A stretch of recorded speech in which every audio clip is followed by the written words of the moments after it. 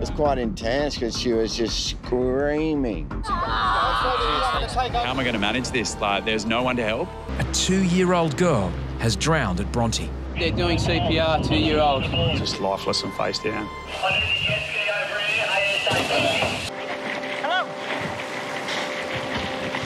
If he sees his mother laying on the ground with a defib strapped to her, it's not something that it's really hard. because- Lifeguards are conducting ordinary patrols when a frantic call comes in from volunteer lifesavers.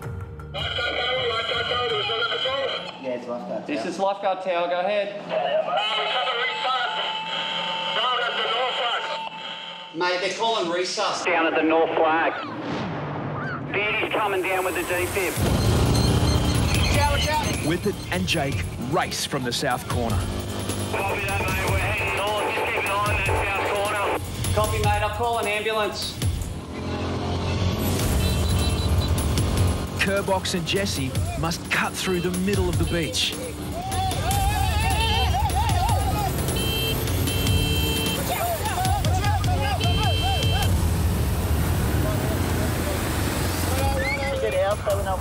Yeah. Wait, wait, wait. We're not respiratory, right? Yeah. All right, mate. You got a pulse? Yeah. Go, go pump. Box, you have a set, and then let me in when you had a, when you need a breather. Do we have any airways? Oral airways? 13, 14, 15, 16, 17, 18, 19. You get that. 1, 22, 23, 24, 25, 26, 27, 28, 29, 30. Lifeguards insert a plastic hose known as a Guedel to clear the woman's airway for oxygen. Just have a feel. Stand by. I've got a pulse. You've got a pulse? I've got a pulse. Yeah. We I've got a pulse. Hang on. Still got a strong pulse. Yeah, me too. Here we go. I'm just going to slowly respirate her. That's all right. She's breathing. Still breathing. She's Still breathing. We've got the we've got the defib on. One minute. Okay. Do we have a history of what happened here? Anyone? So I ran here, I saw it. Uh, On on the sand or out of the water? she was in the water. In the water. She was in the water. Okay. You know what? Did we do we know how it happened or? No. All right. With no friends or family to verify what happened, lifeguards must take precautions in case the woman has damaged her spine. Yeah. Can you watch your hand there, please? Okay, I'm going to take the. I'm taking hand. off. Got it. Someone hit a neck. That's it. Whip. Deano tries to locate paramedics whose vehicles are parked next to the tower. Can't see the paramedics. Norm- Norm should be on the beach somewhere. I can see his ambo car. Got him here, Deano. Good work, Maddie. Paramedic Norm Spalding helps train the lifeguards and is regarded as one of the best in the business.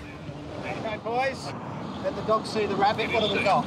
Is she conscious or unconscious? Unconscious at the minute. Yeah, breathing up on her own? Yeah, she's breathing out on her own. Good boys, well done. Good work, good work. If the woman has suffered a spinal injury, it's vital she is kept immobilized. Can you open your eyes for me? But then she vomits. Over on her side. Head three, two, one. Can you get me a glove, someone?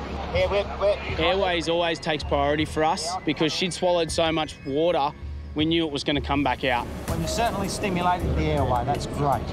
While she's over on the side, bring your board over and lay it along her back. As lifeguards stabilize the woman on the spinal board, she regains consciousness. On your call, it. Ready? On the you happy to airway. roll? Three, two, one. Let's roll. Nice and stable. Just relax. Just relax for us. Just relax. When you've got a lady like that, unconscious and not responding, one of us who's not sort of hands on is, is looking for family, looking for friends. Everything sort of changed when we found out she was actually down here with her son. A member of the public identifies a boy looking for his mother. The kid over there in the green shorts. Okay. He's got Down syndrome. He's, he doesn't. He, he doesn't know that it's his mom there. On Essential, I've got the ladies and the son's clothing. He actually had Down syndrome and he had no idea what was going on or where his mum was. Um, and I've got a number. I'm just going to call. Will she answer? Maybe? No? We'll try anyway. Yeah, we'll try. The boy's mother is in a critical condition. His collar's come. Jake decides not to tell him what has happened. It's really hard because if he sees his mother laying on the ground with a defib strapped to her, it's not something that anyone would want to see. Oh, yeah, you're right, you're right. No answer. You're going to go with the, the ambulance and you're going to go with your mum to the, to the hospital. okay? And then and they'll take after you. So we'll, we'll pack up all your stuff. He was 23 years old and he was down here with his mother. They were Thai Australian. They lived in Western Sydney and they just, I think they caught the train down. The ambulance is coming and you'll go for a ride in the ambulance, okay? With your mum. Let's get some hands on. Whoever's on the head, stay on the head. you do nothing else, you're doing the head. On the count of three, three, lift. You just stay nice and still for us. Okay, guys, I've got the head. I'm going to take control. Moving a patient off the beach, again, spinal care comes into it because you've got a bumpy surface to get across. Slow as. Slow as. Let's go. We'll need you Ready? to help. And go, Jess. You need as many hands as you can on deck, and we're driving super slow. Worst case, they can go back unconscious, you know, stop breathing, lose their pulse, and we've got to start all over again. We're going to go alongside and we're going to carry her up the ramp. Roger. All right, Jess. It's quite intense because she was just screaming. I'm going uh, to take over the head. We're roll off the board, okay? Two, three, roll. Look at the board. Two, three, back. Vince. Keep breathing. That's it.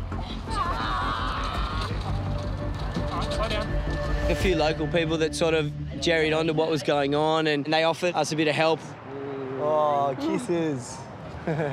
She had a couple of little dogs and, and we were using them as a, as a just sort of a distraction Oh, kiss. He's very soft, isn't he? because he was still asking about his mum. Okay, we're gonna go for a ride in the ambulance now. Right, mum's just a little bit sick, so they're gonna go check her out at the hospital. Okay. To see him concerned for his mum and not knowing what was going on, that's heartbreaking when you see that. You know, you never forget about your resusces. And I don't know, I've got kids and, and I've seen kids down here lose their parents and it's devastating. And when you see someone with their kid, it, it makes it, it brings it home. You know, a lot of the boys have got kids and it always sort of rams at home just how valuable life is. We later found out that she actually had an aneurysm, and we also realised that it wasn't a spinal injury. You know, obviously our thoughts and prayers go out for her and her family, and hope she makes a full recovery. Body just washed up on flat rock right in front of my eyes. There's nothing more that we could have done. We had a weather forecast that showed we were going to get an ex-tropical cyclone move down the coast, combined with some nice weather, a beautiful sunny day with eight-foot surf. It's really dangerous. On an ordinary day, this is a common place for teenagers to meet. In Big Swell, Ben Buckler is no place for playing around. It can lull you into this false sense of security. You get these big sets coming through, and in between, there's not a lot of wave, and all of a sudden, what looks like a freak wave will come, and that's basically what happened on Saturday.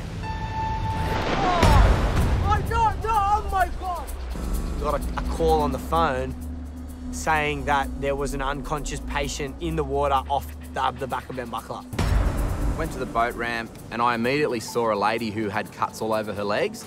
I basically asked her, Can you show me where you went swimming, or can you show me where you were? As we went to start walking to um, go and pinpoint this area, a body just washed up on flat rock right in front of my eyes. It's very confronting to know that you're about to jump in the water and you're looking for a body, and there's very good chance that you're going to find him. I've got the waves washing in my face, and I decided to go down. This is where I'm confronted with the gentleman who's who's stuck on the rocks. I try and grab him, but I, I can't seem to free him. I have to yell out to Chapo, "You need to give me a hand. I can't. I can't grab him." Me and Chapo are able to free the gentleman. And there's a lot of current pulling against us, and there's so many things that are working against you.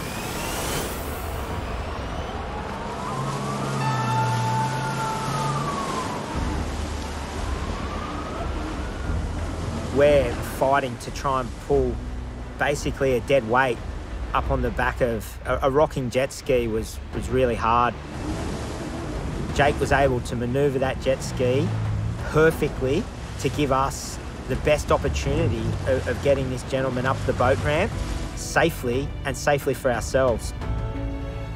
Jake's driving was sensational. And then another legend from nowhere, just a bystander, came and helped me and Beardy. And me and Beardy had the arms and he had the legs, and like we couldn't have done it without him. It's now been over 20 minutes since the man was swept into the sea. We have to start CPR, and we're not going to stop until the paramedics come and tell us not to.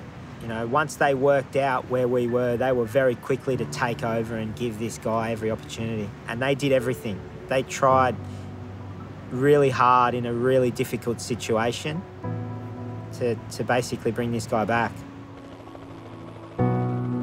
After 10 minutes of CPR, paramedics pronounced the man dead. This is just a really tragic accident. Unfortunately, this couple had ventured out in an area that they were unfamiliar with. You know, their intention wasn't to come down to Bondi with any risky behaviour. They were just not informed about the power of the ocean. It's, for me, it's, it's heartbreaking. It's heartbreaking to be involved in, in that situation and actually see the gentleman pass away, really, and in front of his wife. There's nothing more that we could have done. This particular incident, the odds were just against us, the gentlemen, but operationally, I couldn't be more proud of our team. She lost that beautiful little girl. She'd know what I'm talking about. I'm watching a father and his daughter in the foreground, and then all of a sudden I see this young girl. She's going to go under, and if she goes under and disappears into that deep hole, uh, another 30 seconds or another 40 seconds underwater, it's, it's like you find her or she's gone. Get the board, get in the water, hope you don't get slowed up by waves coming in, and then sprint to the patient.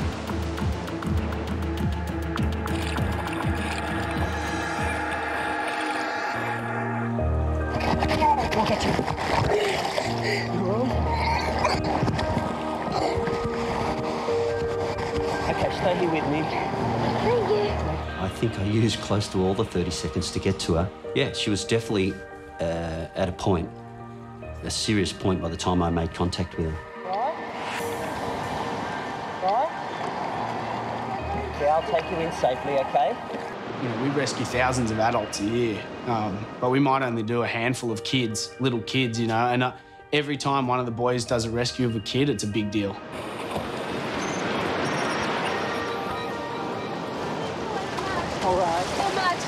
Daughter nearly drowned then. Yeah. Okay, you need to go to the red and yellow flags? Yeah. Watch your back. Thank you. Uh, especially with young kids like that, because I lost my son. I- I know that feeling. Sorry, guys. My boy was trapped in the birth canal and had complications which cut the oxygen off for 10 minutes, but the result was a week later that he died. Whenever I do a rescue of a young child, that comes to the surface. She lost that beautiful little girl. She'd know what I'm talking about, you know? I was Like my brother, then I recognized it was Thursday.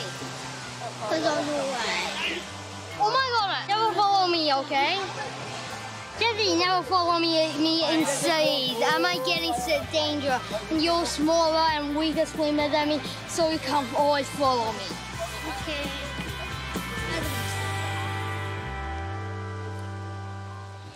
It's gotta be the worst thing I've ever seen as a lifeguard. Continue for one minute 30. I remember coming over to the last wave and what I saw next just, you know, absolutely shocked me to the core. Hello?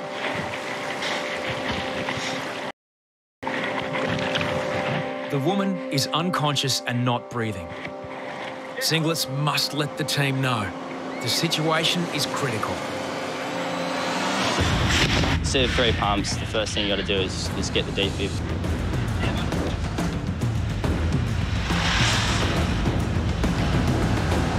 The man and the woman are from the same family. Of course, I wanted to help Singer. He was asking for help, but I couldn't leave this guy that was clearly about to drown. So I had to paddle that guy in and then go help again.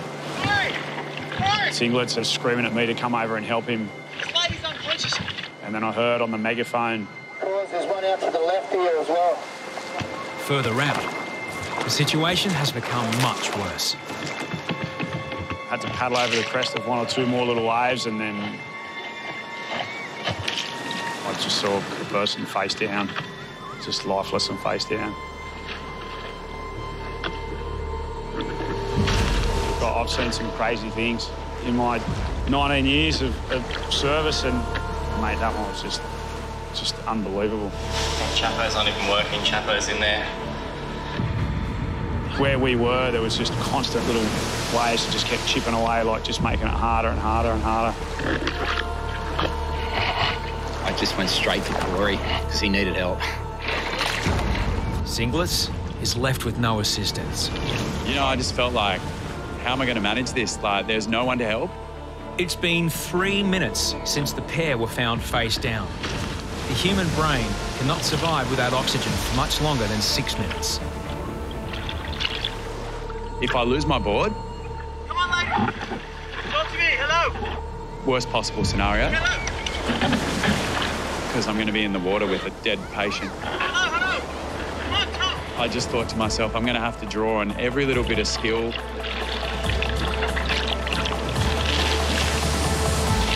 Every little bit of training to get this woman in because there is really no other option.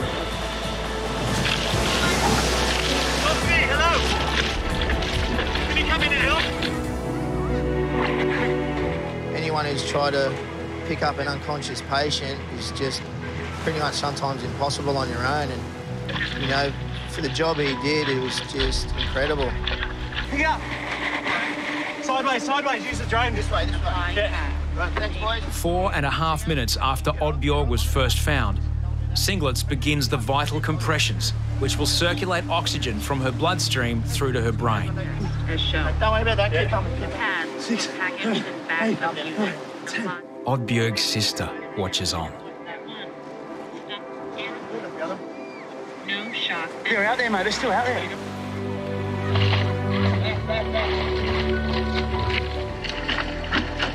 Even with like three or four other guys trying to push the board when a wave came, the, the wave just wouldn't take us. Almost six minutes have lapsed since Corey first reached Johnny. Five surfers have joined three lifeguards in the fight against the rig. Somehow he came off the board again. Just drove me insane that I couldn't get him in. Lifeguards listen to the defibrillator, Continue for 15. Continue. but Oddbjorg's heart rhythm is in flatline and she can't be shocked. Stop CPR. Stop now. Do not touch the patient. Analyzing heart rhythm. I remember looking around and went, oh no. This got to be the worst thing I've ever seen as a lifeguard. Good boy. Good boy. Now get that back in. The thing that was going through my brain more than anything was like, this person's friends or family are going to be on the beach watching this whole thing. Continue for 1 minute 30. This is the worst crisis the service has faced in decades. No matter how long they've been unconscious for, you know, you, you're not going to give up. Get the bearing. Get tilt the head, mate. Head back. Head tilt, Yeah, that's that's it. Continue. Good, good compressions, box. They're getting there. They're getting there. Boys, have I got anyone to come up here and give the Ambos a lift down? Take the buggy. Just need you to come over.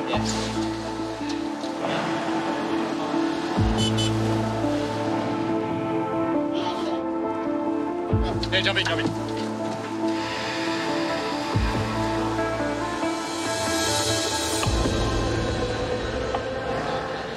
Fifteen minutes after the pair were found face down, How many patients you got? Two. the prospect of successful resuscitation is becoming less likely by the second. There's one patient, there's one patient.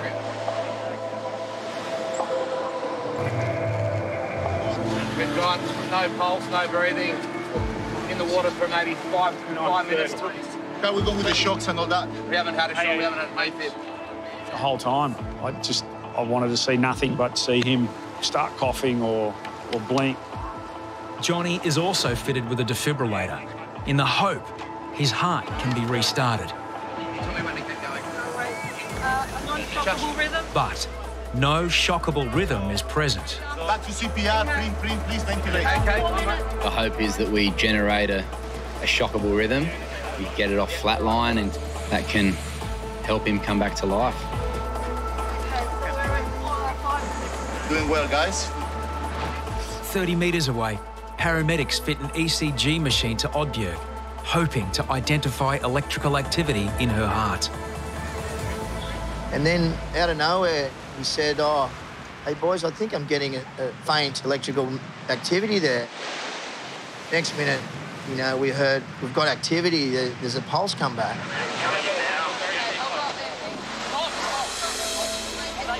I looked at Singlets, and was like, oh my God, like we've got it back.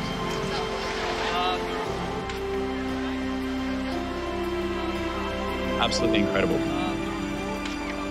One of the paramedics told me that there's a 0.01% chance that someone will survive something like this, and there it was right in front of us. It was just this huge relief, and Singlets and I were like, thank God. But, you know, that, that didn't help things as well because then the boys, unfortunately, across from us were like, you know, had their heads down. With their sister revived, family members turned to their brother in law. But after 30 minutes of CPR, paramedics call an end to the resuscitation. We're just like, how? Why can't we get this guy back? Like, you know, over the years we've had so many successful sort of resusces and it's surreal having someone die at your hands. It's not what many people are used to dealing with. Yeah, poor Jethro, he was in the tower and would have hit him hard as well. It's, it's harder to be in the tower when resusces are going on because you feel helpless, but you're playing such an important role. Yeah, when Singlet started paddling, it just got worse and worse.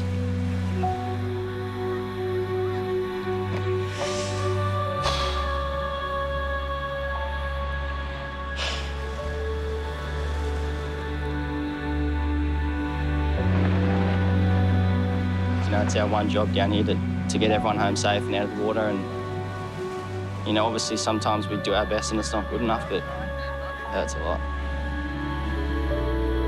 Now breathing on her own, Oddbjorg is placed into an induced coma and prepared for transportation to hospital.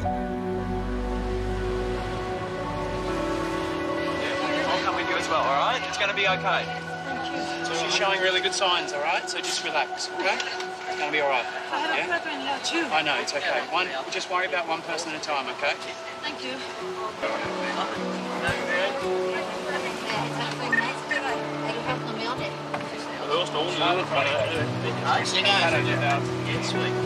when you're ready to go.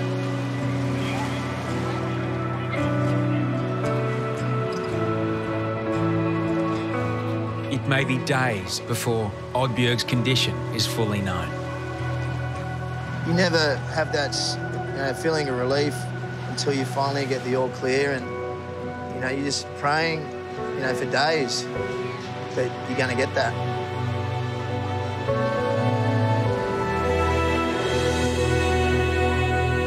I was just sitting in the tower watching the water, and we got a knock at the door, and she said, "Ah, hi, uh, you rescued my sister," and I was like, "Oh, I'm so sorry." Um, and I was just she was looking at me, and I, I just said, "How, how is she?" And she's like, "This is her." and the lady just stood there, and like we just looked at each other for, I felt like for like 20 seconds. We ju- I just looked at her. I was like, "This can't be real." Like, you should be dead. We, as soon as we saw each other, we just had this huge hug for about a minute, and uh, there were tears. For me to see her with life in her body and life in her eyes was incredible. So this is from the sister, actually. Dear Trent, thank you again for saving my sister from drowning on Bondi Beach. The hard work you and your fellow lifeguards did for both Oddbjorg and our brother-in-law, Johnny, meant the world to us. I had the feeling of being on, in a roller coaster between deep sorrow and extreme happiness. Going home together with Oddbjorg, who shows no signs of injury at all, is the best gift ever. I would like you to know and also pass on to your fellow lifeguards that all of us who were present at Bondi are so grateful for your knowledge, capacity, endurance, and hard work regarding both Johnny and my sister. Our sister, who lost her husband, asked me to thank you for trying as hard as you did to save Johnny's life. His coffin will come to Norway in a few days, so we are going together for his funeral. Please pass on our thanks to everybody involved.